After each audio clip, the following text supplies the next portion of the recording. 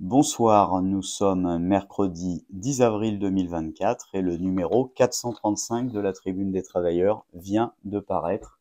Les milliards pour l'école et l'hôpital, pas un sou, pas une arme, pas un homme pour la guerre.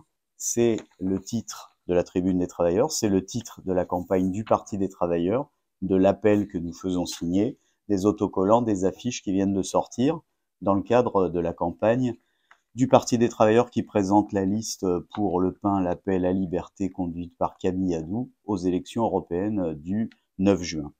Euh, pas un sou, pas une arme, pas un homme pour la guerre, parce que pas une semaine ne passe sans que le gouvernement Macron, bien sûr le gouvernement Biden, gouvernement allemand, britannique, l'OTAN, l'Union européenne, ne déverse chaque semaine de nouveaux euh, dizaines de milliards d'euros ou de dollars dans euh, la guerre en Ukraine. Euh, pas une journée ne se passe sans que l'hypocrisie des grands de ce monde ne s'exprime. L'éditorial cette semaine y revient en rappelant que Macron, qui euh, vient de se prononcer pour un cessez-le-feu à Gaza, est le même qui continue à faire livrer des armes à Israël.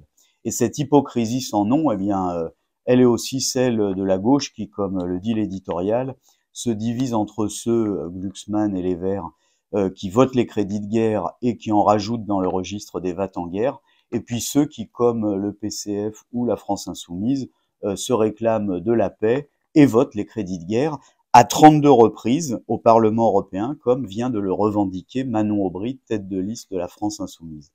Les travailleurs dans notre pays, la jeunesse, sont contre la guerre. Ils ne veulent pas ni d'envoi de troupes en Ukraine, ni d'envoi de dizaines de milliards, de centaines de milliards d'armement, l'OTAN qui vient de se réunir, exige 100 milliards euh, d'euros supplémentaires pour la guerre. Les travailleurs, les jeunes, veulent que l'argent aille à l'école, aux hôpitaux, aux services publics, à l'augmentation des salaires. Ils veulent l'unité la fraternité entre les peuples et les travailleurs du monde entier. C'est ce que nous dirons lors de deux rendez-vous que chacun devrait inscrire sur ses tablettes.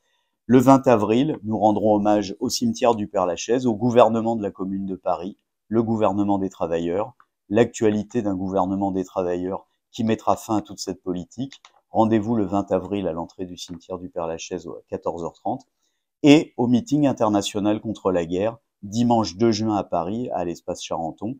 Meeting international où euh, s'exprimeront à la tribune des travailleurs, des militants du monde entier contre la guerre, contre l'exploitation.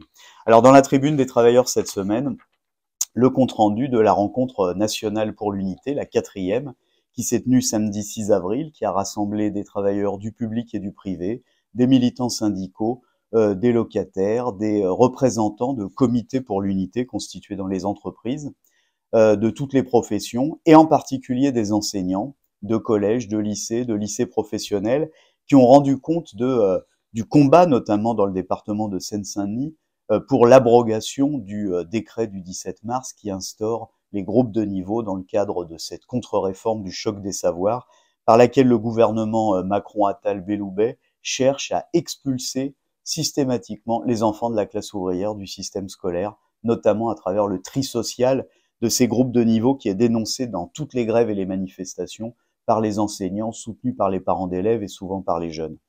Euh, L'unité c'est euh, le combat que les travailleurs mènent pour arracher les revendications face au patronat et au gouvernement. Et cette conférence, cette rencontre nationale pour l'unité visait à y aider. L'unité, c'est le problème qui est posé dans l'enseignement aujourd'hui pour faire reculer le gouvernement. Un gouvernement qui, euh, chaque jour, dans le cadre des milliards qui sont euh, pillés dans les caisses des services publics pour financer la guerre, prive les établissements scolaires des moyens dont ils ont besoin. Ce gouvernement qui instaure le tri social, ce gouvernement qui essaye par tous les moyens de militariser et caporaliser la jeunesse à travers le SNU et la propagande.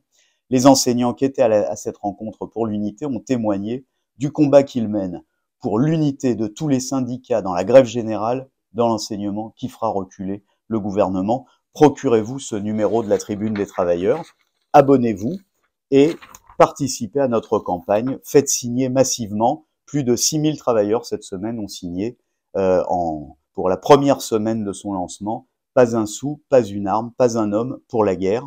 Rendez-vous le 20 avril et le 2 juin.